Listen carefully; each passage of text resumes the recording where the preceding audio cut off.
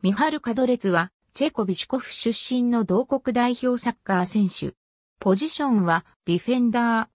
父はチェコを、ユーロ1996の準優勝へ導いた、ミロスラフ・カドレツ。チェコやドイツのユースチームで育ち、2001年チェコの 1FC スロバーツコでプロデビューする。2005年に同国の強豪 AC スパルタプラハに移籍。2008から09シーズンはバイエルレバークーゼンにレンタル移籍。第4節のハンブルガー SV 戦で後半開始から途中出場し、ブンデスリーガでのデビューを果たした。その後レギュラーをつかむと、レバークーゼンは2009年1月に買取オプションを行使し、2013年までの契約で完全移籍する。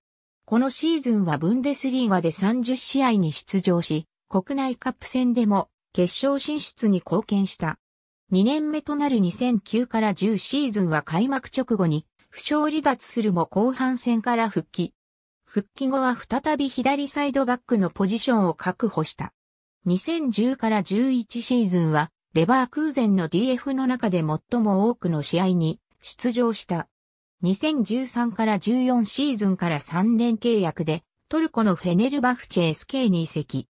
前半戦は負傷の影響もあり1試合の出場にとどまったが、後半戦は本職の左サイドバックや、試合によってはセンターバックでも出場している。